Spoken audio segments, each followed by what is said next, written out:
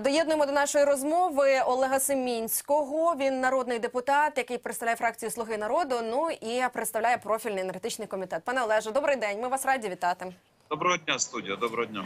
Тема ясно, що опалювальний сезон, що з тарифами, що з е, газом буде. Бо е, одні кажуть, що критично мало влітку не заповнили наші газосховища, коли ціна була допустима. Представники влади кажуть, що все буде нормально, паніки не треба, газу вистачить. Ми ще он трохи з Молдовою навіть поділились.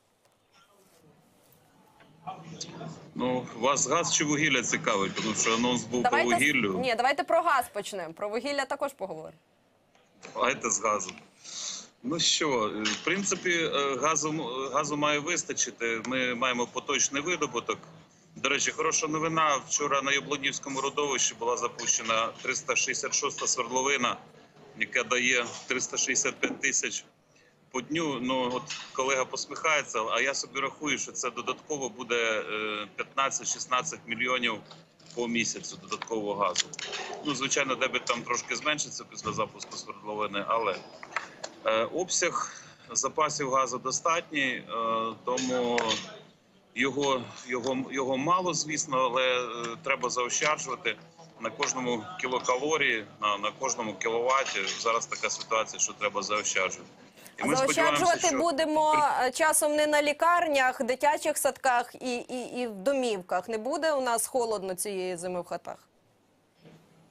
Ну не має бути. Ми цього не допустимо. Я не хочу говорити про ковід і червоні зони, закриті школи. Хоча ми розуміємо, що ці об'єкти будуть закриті в разі е, е, повного локдауну. Да, скажімо, і вони будуть на мінімальний режим споживання переходити.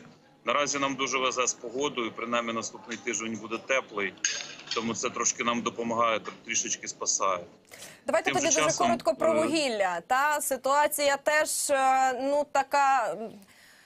Не хочу казати, сподіватися на Бога, знаєте, але ну от е, Ситуація критична. Ви абсолютно праві. Ситуація критична. Державну компанію Центренерго було, було вугілля законтрактоване ще з початку літа, але світова тенденція на ринках. Ну, наприклад, щоб ви розуміли, найдешевше, найякісніше вугілля Кузбаське в Росії, яке видобувається відкритим методом. Його вартість була 30 там 50 доларів останнім часом, але вартість росла. Ні, Внаслідок енергетичної е, кризи в Китаї вона зросла до 250 доларів за тонну. І повністю весь обсяг е, забирає Китай. І такі пропозиції, скажімо, хто хоче там додати 10 доларів, там пропонує 260 доларів, то китайці кажуть, ось вам 270 і зняли питання. Е, Були була був законтрактовано вугілля державною компанією, але поставщики вони просто виплачують штрафні санкції, тому що і, і не можуть поставити, тому що їм вигідніше заплатити штрафні санкції, видно, і поставити в інше місце вугілля і заробити ще на цьому. Ну тобто, але що до переживемо? ще до всіх наших бід ще додалася така, бачите, е, світова тенденція з вугіллям.